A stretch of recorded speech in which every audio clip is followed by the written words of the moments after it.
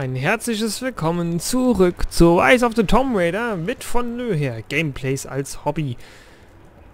Ja, ich verstehe einfach mein äh, Aufnahmeprogramm nicht, was das denn soll.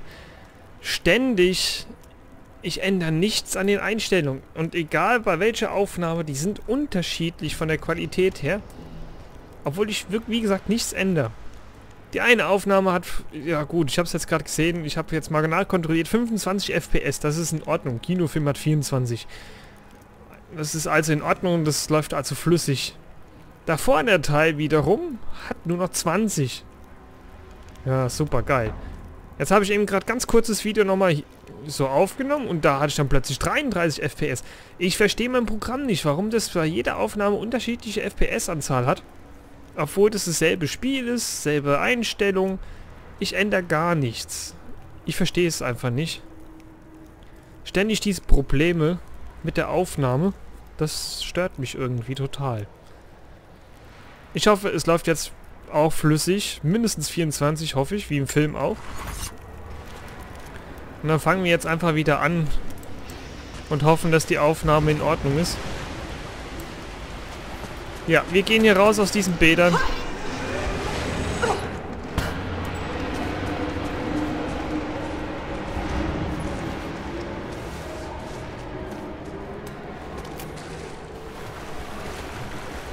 Vor allem das Interessante ist, in meinem Aufnahmeprogramm habe ich 60 FPS eingegeben, soll es aufnehmen. Aber das ist dann doch nur so 24 aufnimmt, manchmal 30. Bevor ich überhaupt mit dem ersten Teil hier angefangen habe, wieder mit der Aufnahmesession, hatte ich sogar bei einem Testvideo hatte ich über 50 FPS bei der Aufnahme. Deswegen, ich verstehe das nicht, warum das so unterschiedlich ist. Das ist einfach unverständlich. Ich kapiere es nicht.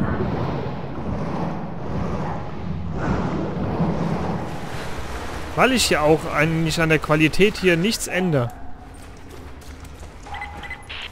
Lara, ich würde den Atlas gerne untersuchen, wenn Sie bereit sind. Ich habe ihn und bin bald da. Passen Sie gut auf ihn auf. Wir warten auf Sie.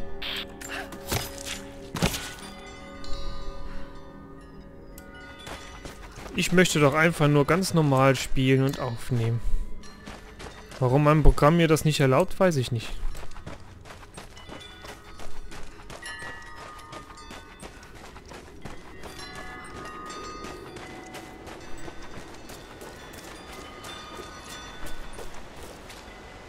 Aber ich glaube, die Lichtspiele und sowas, die sind mit DX12 wirklich viel besser. Aber hier hängt es wieder ziemlich. Das geothermale Tal ist einfach nicht so gut für mich. So, hier haben wir auch noch eine Höhle. Da waren wir ja auch noch nicht drin, weil ich ja euch auch schon gesagt hatte, hier brauchen wir auch das Atemgerät. Das haben wir ja jetzt. Also können wir hier auch mal reingehen. Bevor wir weitermachen.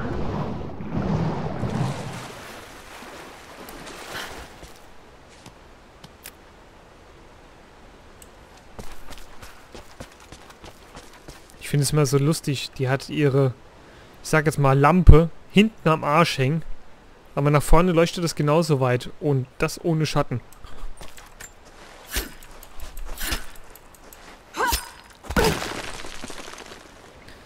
Ich brauche besseres Erz. Ich muss besseres Erz finden, aber irgendwie finde ich das nicht. Das Holz kann man nicht einsammeln. Voll. Okay, das war's vorhin in der Höhle. Tatsächlich. Okay, wir haben hier aber noch eine Herausforderung. Äh, Krypta-Eingang.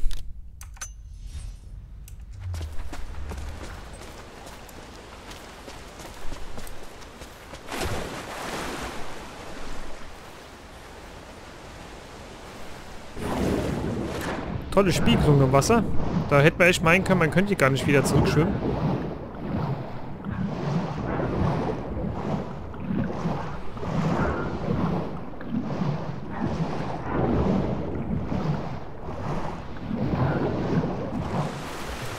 Ich glaube, ich brauche echt einfach nur einen besseren Prozessor.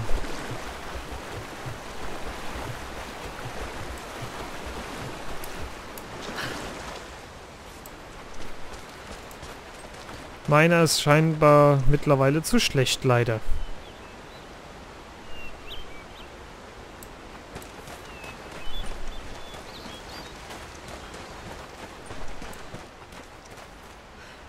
Ähm, der Kryptoeingang ist wo? Okay, hinter dem Wasser, Wasserfall. Dann können wir ja hier wieder hoch.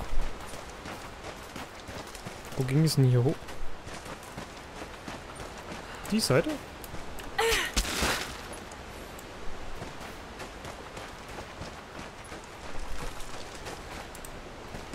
Nee, ich glaube, ich muss auf den Baum da.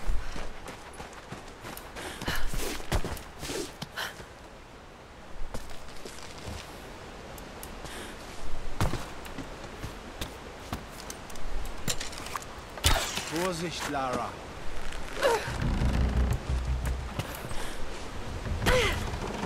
Vorsicht, Lehrer? Warum sagt er das?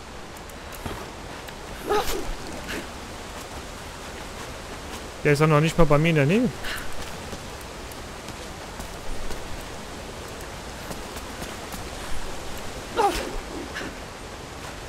Huch. Weg war ich.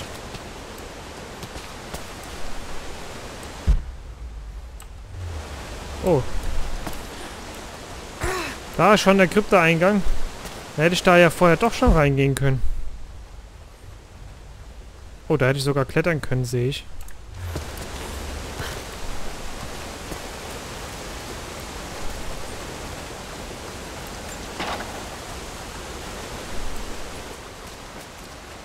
Tatsächlich, hier ist es schon.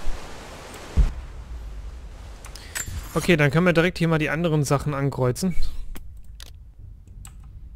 Und hoffen, wir finden sie. Scheiße, das ist sogar über uns. Okay, das hat nichts mit der Krypta zu tun.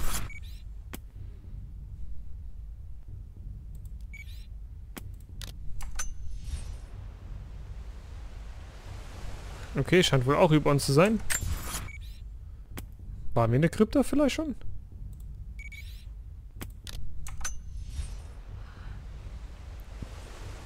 Wieso ist das alles da oben?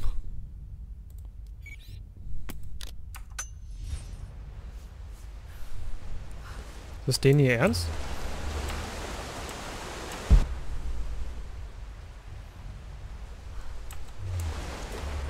Okay, wir gehen jetzt trotzdem mal hier rein. Wie wir sehen, waren wir hier noch nicht drin. Die Krypta ist noch dicht. Irgendwas muss hier noch sein.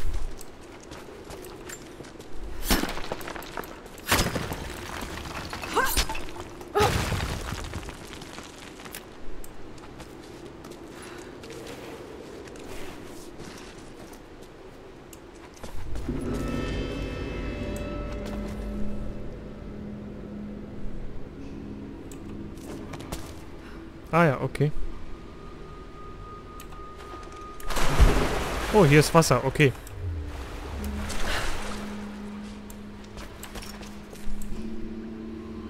Pilze sind voll. Okay, hier müssen wir aber auch tauchen. Ich weiß gar nicht, ob ich das vorher hätte machen können. Ja, hätte ich machen können. So weit müssen wir nicht tauchen.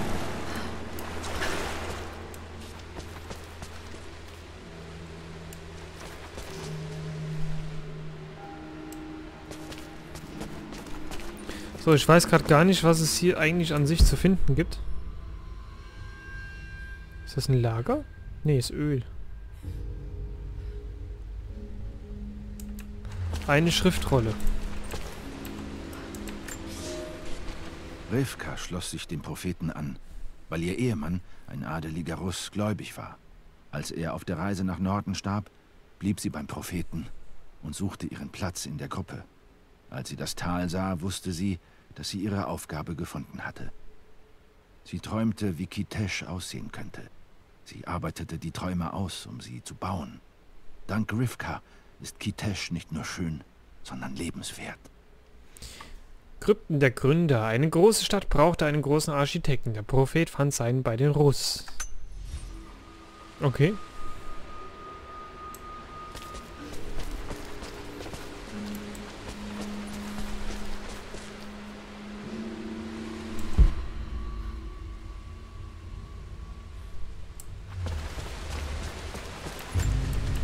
Ha! Erz ist zwar voll, aber hier scheint wohl das andere Erz drin zu sein, genau. Sehr schön. So, die Pilze waren voll.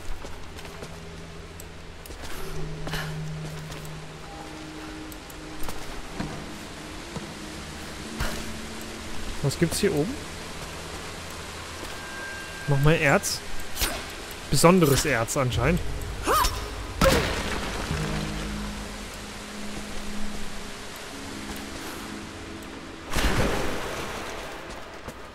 Dafür scheint wohl unter anderem die Höhle da zu sein, um dieses besondere Erz abzubauen. Wie es aussieht, ja.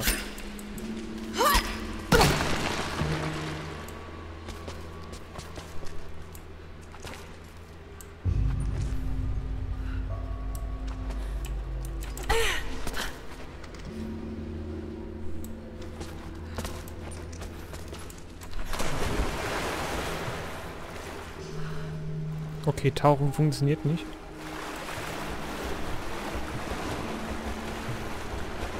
Das Wasser sieht ein bisschen ölig aus.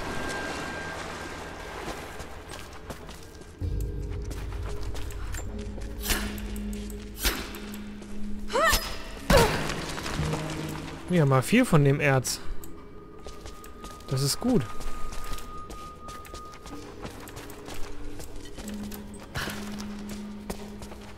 Geht's denn hier hin? Oh, ein Grab. Daran habe ich gar nicht mehr gedacht, dass sowas hier drin ist.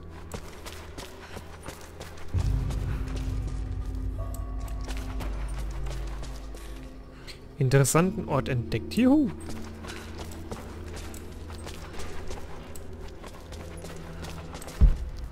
Gibt's hier irgendwas? Wie es aussieht, nicht. Noch nicht mal Geld. Der Sarkophag ist sogar kaputt. Mhm. Bogen freigeschaltet. Yeah. Das ist dieser antike Bogen wahrscheinlich. Da bin ich ja mal gespannt. Ob der in irgendetwas besser ist als der Bogen, den wir schon haben. Die ganze Zeit schon. Ja, cool.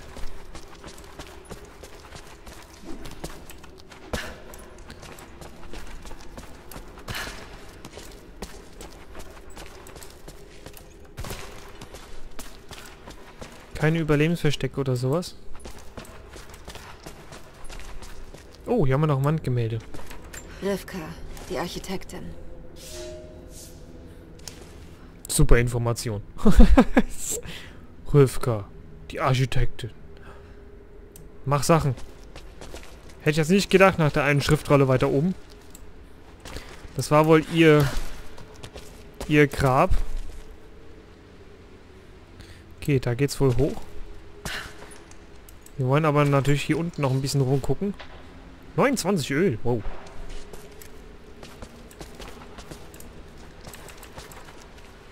Okay, in der kleinen Ausbuchtung gibt's wohl nichts.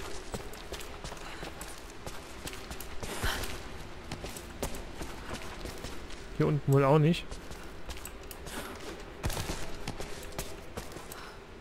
Hier oben gibt's auch nichts. Einfach nur zwei verschiedene Wege, um wieder hier hochzukommen. Ach, wir sind jetzt hier wieder. Okay. Okay, das war's dann wohl in dieser Höhle. Immerhin, wir haben besonderes Erz gefunden. Was natürlich genau richtig ist, weil das brauchen wir für Waffenverbesserungen und sowas.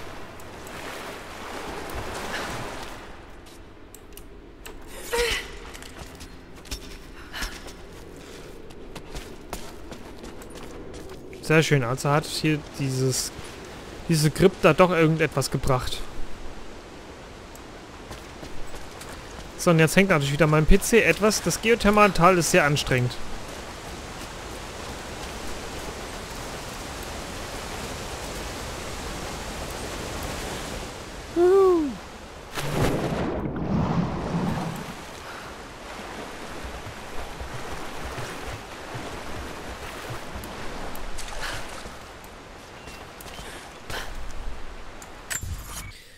So, ich habe hier oben kein Lager. Das heißt, ich werde jetzt erstmal hierher zurücklaufen zum Lager. Erstens, um zu speichern. Wir haben immerhin jetzt eine Herausforderungsgrab. Okay, nee, da hat man ja eigentlich drin gespeichert gehabt. Aber ich will den neuen Bogen mir erstmal angucken, bevor das jetzt hier irgendwie weitergeht. Und ich weiß nicht, wann das nächste Lager kommt. Damit ich speichern kann.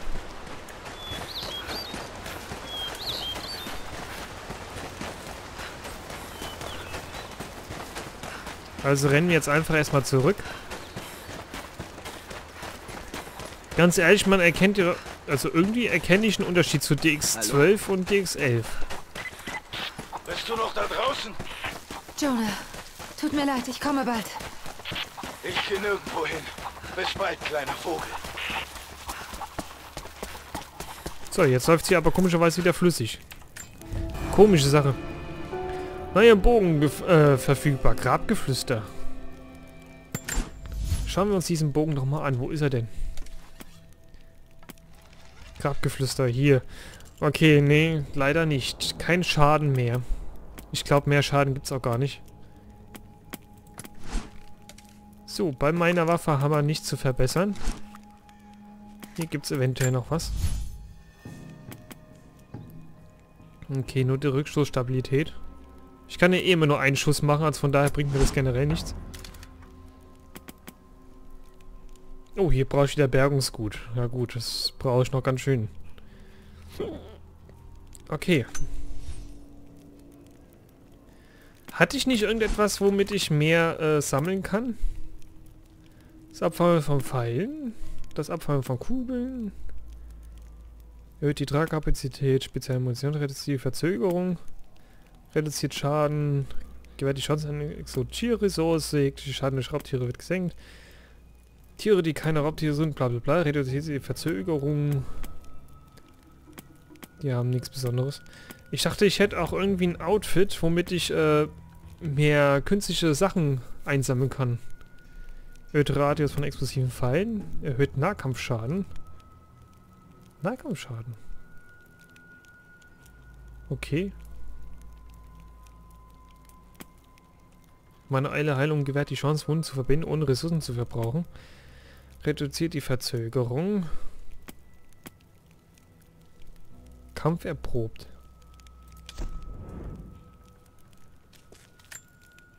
Mhm.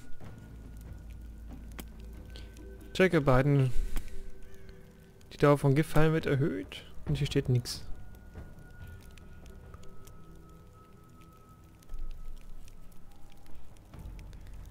Okay, ich habe noch meine Haare, als lass mir das jetzt einfach mal an, ist jetzt wurscht.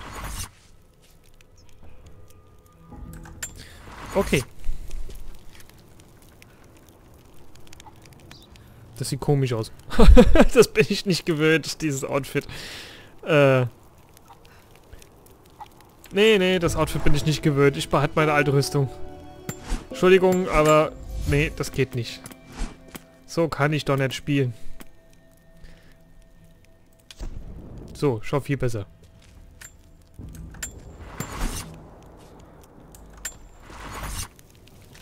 Gefällt mir um einiges besser, auf jeden Fall. Okay, dann wollen wir mal. Der Bogen ist leider für den Arsch. Den können wir nicht gebrauchen. Es muss doch mehr Munition für die Sowjetgewehre geben. Wieso haben wir nur so wenig? Okay, wir merken, das geothermale Tal, das verbraucht echt viel Grafik. Anforderung. Hier hängt es dann doch etwas mehr. Ich meine, guck dir mal die ganze Wiese an. Das ist ja nicht mehr normal. Jeden einzelnen Grashalm muss hier generiert werden und die Lichtreflexe mit dazu mit den Schatten und ach, keine Ahnung. Das ist schon klar, dass es sehr herausfordernd ist hier für einen PC. Aber an sich funktioniert es ja. Man merkt es ja. Ich kann trotzdem hier noch flüssig durchrennen. Nur ab und zu muss es mal kurz laden, wie es aussieht. Ich meine, die ganzen Nadeln von den Tannenbäumen hier.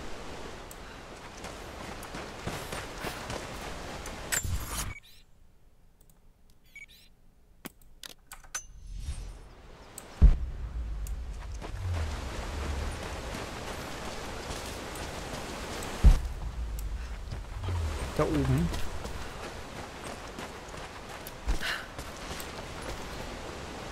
Hier oben wahrscheinlich, ja. Die kenne ich gar nicht. Warum sind die hier? Was machen die? Agios.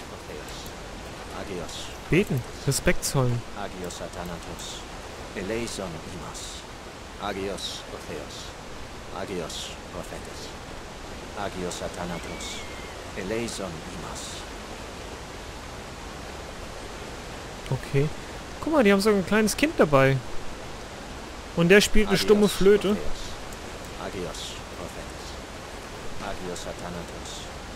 Sehr schade. Das Flötenspiel würde ich gern hören.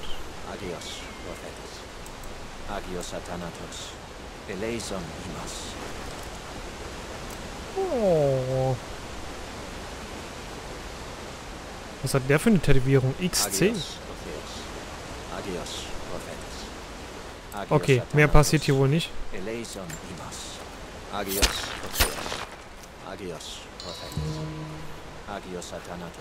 Alles klar, was gibt's noch? Hier oben... Ah ne, hier haben wir ja noch das hier. Okay, das ist da oben. Ja, cool. Habe ich noch eine Errungenschaft gefunden?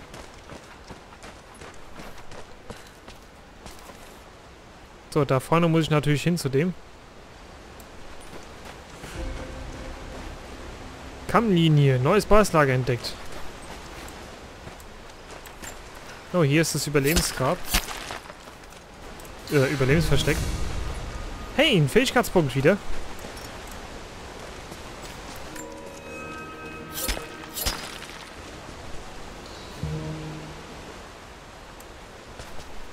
Wenn du soweit bist, wir warten am Kamm auf dich. Alles klar. So, hier haben wir noch ein Überlebensversteck. Ich glaube, dann haben wir sogar alles hier.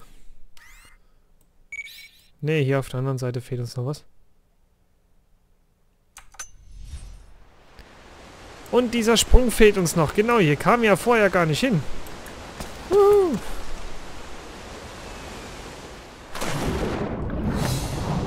Herausforderung abgeschlossen. Tauchsprünge. Mut zum Risiko. Errungenschaft freigeschaltet.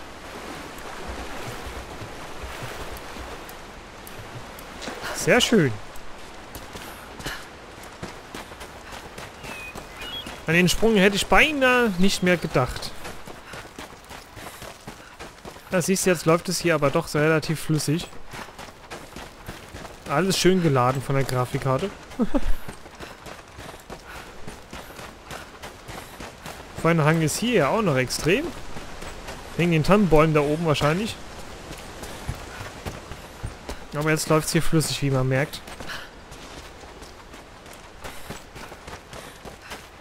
Das ist aber auch eine extrem starke Leistung hier. Und hier hängt es dann wieder etwas. So. Bergungsgut. Oh. Alles voll. Auch alles voll. Eine Karte. Unfassbar, dass es hier doch noch eine Karte in dieser Welt zu finden gibt. Was haben wir denn jetzt schon wieder? Ein Dokument hier unten. Oh mein Gott. Ein Artefakt.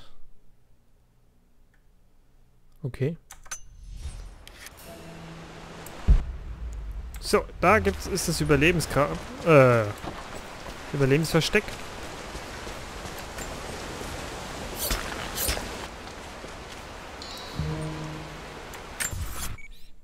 Das hier ist jetzt zwar nicht weit weg, aber wir markieren es mal. Ich weiß jetzt gerade noch nicht, ob das hier ist hier oben, ja. Ach ja, da drin.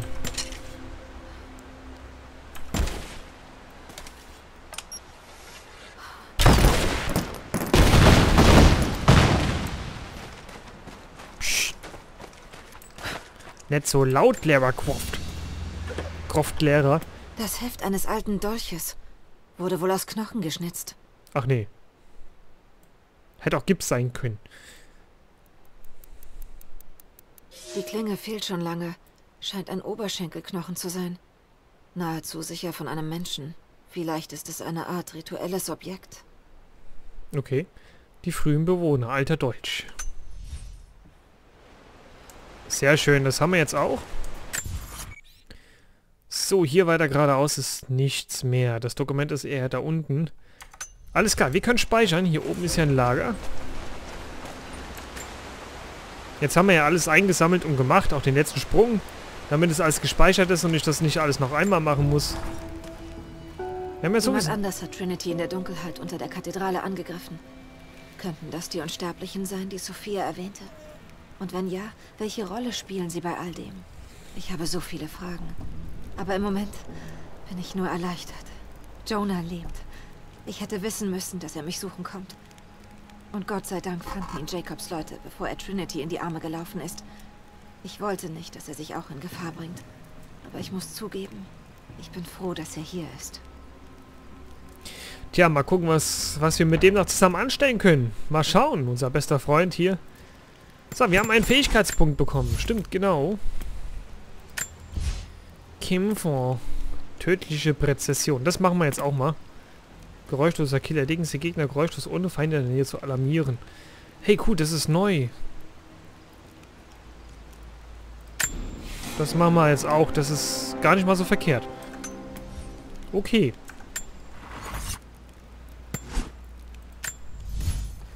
Waffenverbesserung. Haben wir da was? Nein. Unser Schrotflinte leuchtet was auf. Ah ja, okay. Ach, auch nochmal Nachladegeschwindigkeit. Ja, dann. Hopp gedoppt. Sehr schön. Okay, nochmal was verbessert. Wunderbar. So, da müssen wir wohl hin.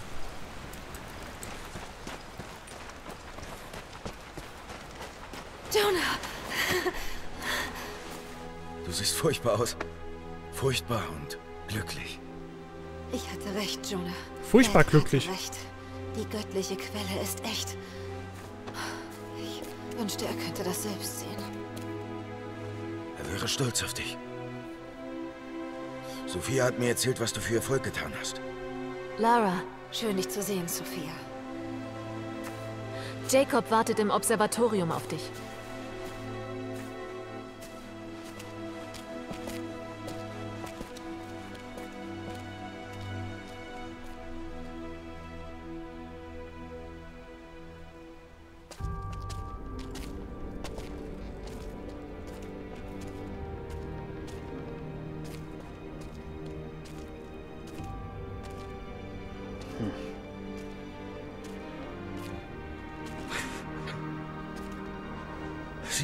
Gefunden.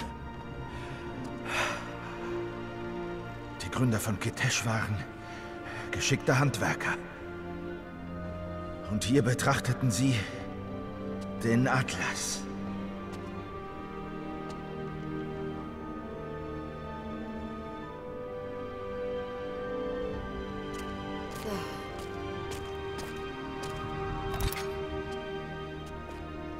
Jonah, probier die Ketten aus.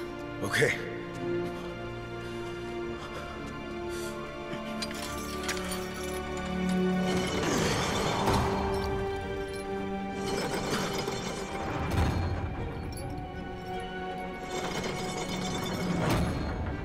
Das ist so geil gemacht.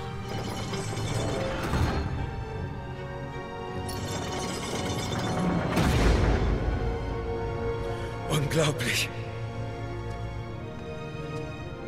Sie müssen ihn verwendet haben, um den Bau der Stadt zu planen. Wie uralte Blaupausen. Ganz genau. Alles strahlt aus von diesem Punkt. Das Zentrum der Stadt liegt also unter dem See. Stimmt nicht. Die Kathedrale, wo der Atlas war, ist auf der falschen Seite der Karte. Dreh noch etwas weiter.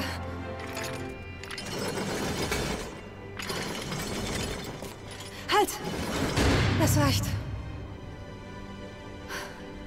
Kitesh liegt nicht unter dem See, sondern unter dem Gletscher. Die göttliche Quelle muss dort sein.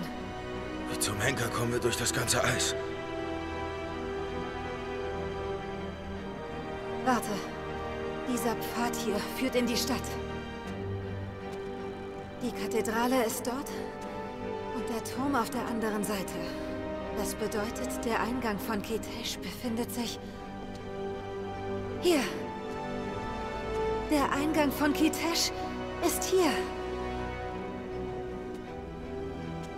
Sie wussten es.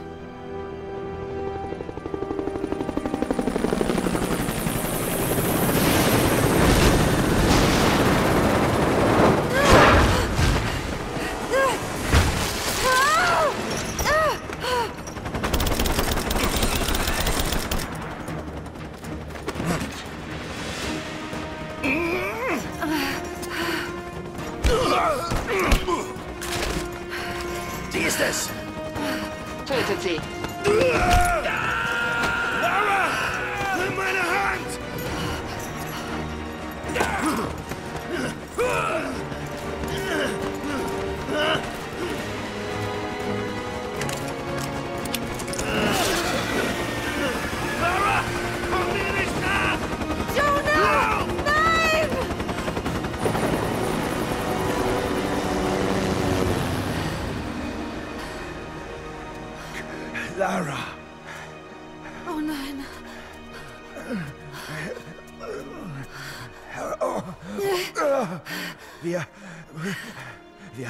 Zeit.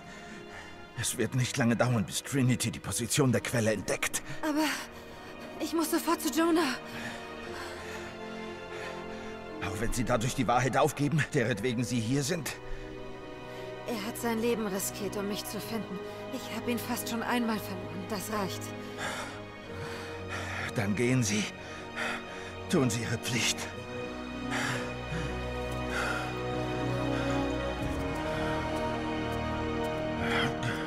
Ugh.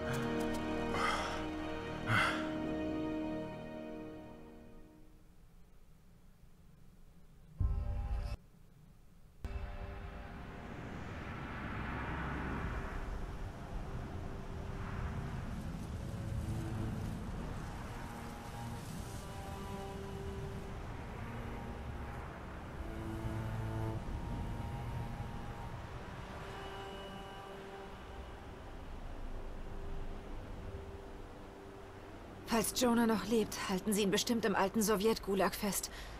Diesen furchtbaren Ort wollte ich nie wiedersehen, aber ich kann ihn jetzt nicht in Trinitys Händen lassen.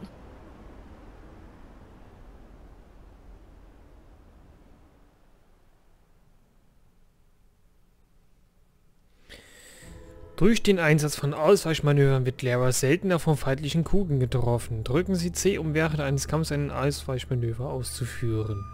Sprinten. Drücken Sie Umschalt, um schneller zu laufen. Jonah, halte durch. Sophia, bist du da? Lara, geht es dir gut? Ja, ich bin oben beim alten Kupferwerk über dem Gulag. Ich werde dort nach Jonah suchen. Ich kenne diesen Ort. Wir haben Waffen dort versteckt, als wir Trinity das erste Mal angegriffen haben. Könnten sich als nützlich erweisen. Danke, Sophia. Wir sehen uns, wenn ich wieder zurück bin. Die Rettung. Folgen Sie den Trinity-Helikopter zur alten Sowjetwetterstation. Ich wundere mich jetzt eigentlich generell. Wie konnten wir so schnell jetzt hier, hier unten beim Gulag sein, wo der Rettungshub, selbst der Hubschrauber, noch nicht da unten angekommen war. Der war noch auf dem Flug dahin. Wir müssen ja echt schnell von äh, Geothermal hierher gerannt sein. Wir kennen den Weg durch das Spiel. Dass wir das noch er erleben durften, wie der Rettungshubschrauber auch gerade so angekommen ist. Das heißt, wir waren im Laufen so schnell, wie der Hubschrauber geflogen ist. ähm, das war sehr schnell. Oh, wir haben hier ein Lager. Da hinten leuchtet es. Das Leuchten sammeln wir jetzt noch auf. Beziehungsweise alles andere auch. Denn unsere Aufnahmezeit ist vorüber. Oh, hier ist sowieso nichts mehr. Unsere Aufnahmezeit ist nämlich vorüber. Hier ist ein Lager. Dann sammeln wir das jetzt noch auf, was es hier gibt. Wie die Truhe hier zum Beispiel noch. Und dann ist...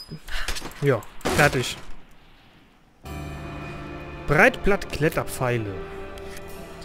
Breitblatt-Kletterpfeile. Schießen Sie Kletterpfeile in weichen Holzoberflächen, um neue Orte zu erreichen. Halten Sie linke Maustaste gedrückt, bis der Schuss voll aufgeladen ist, bevor Sie abfeuern. Das haben wir gerade gelesen. Okay. Dann speichern wir gerade mal. Beziehungsweise haben wir noch einen Fertigkeitspunkt? Sie haben Nee. jetzt Jonah und den Atlas. Aber wenn Sie glauben, dass er etwas weiß, lassen Sie ihn vermutlich noch am Leben. Ich kann nur hoffen, dass Jonah durchhält, bis ich ihn finde. Ich muss ihn zurückholen. Ich lasse ihn hier nicht sterben.